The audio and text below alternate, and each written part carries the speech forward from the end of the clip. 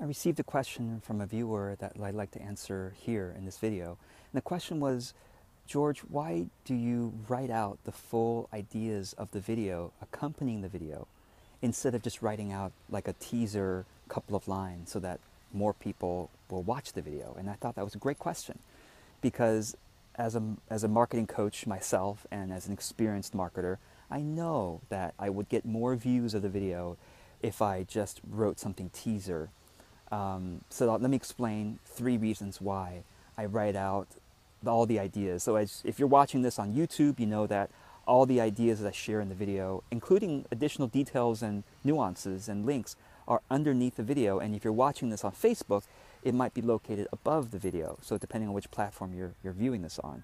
Um, actually, if you're watching this in a Facebook group and I shared it from my fan page, then the, then the notes are below the video. So anyway, look for the full notes if you never knew was there. So why, why do I do this? Three reasons. One is the golden rule. Authentic marketing can actually be summarized in this way. Follow the golden rule in your marketing. What would you, if you were in the shoes of your audience member, what kind of marketing would you want to receive as an audience member? For me, I would want to receive marketing that makes me feel cared for, that feels generous, uh, that feels easy to consume, that doesn't feel manipulative or makes me jump through hoops like entering an email address to get something or sitting through a long video to finally get some pieces of nut, you know, wisdom. So, okay, so that's, that's what I would want to experience as, a, as an, uh, a consumer and audience member. So I do the same thing to other people. And so much of life can be easier, more fulfilling, more fun, uh, more enjoyable if we just think about the golden rule in more situations in life, right? So in marketing the same way. So that's why I write out the videos because as a viewer uh, uh, on social media, I, I, I love it when people write out the ideas so I don't have to watch the video if I don't have time to. Okay, so I really appreciate that, so I do the same thing for others. The second reason is, interestingly, once I started writing out the ideas of what I said on the video out of a feeling of courtesy and service, I found that it unblocked my writing resistance. I used to have so much resistance to writing blog posts. I used to feel intimidated by it. I wanted uh, perfectionism.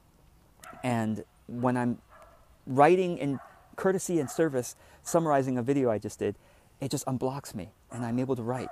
So we each need to, so that's the second reason. I think we each need to find what unblocks us from content, with content creation and then for some of us it's writing okay like for you if it's writing an article and blocks you then you could read the, um, the content of the article in a video, or you can attach another content creation method to what is natural for you, right? So that second reason is, and it unblocked me, my creativity. And third reason is that when I write out the words, search engines, and there's Buddy, search engines are much more able to find my video than if I only wrote very little. Because search engines work by finding words, finding text.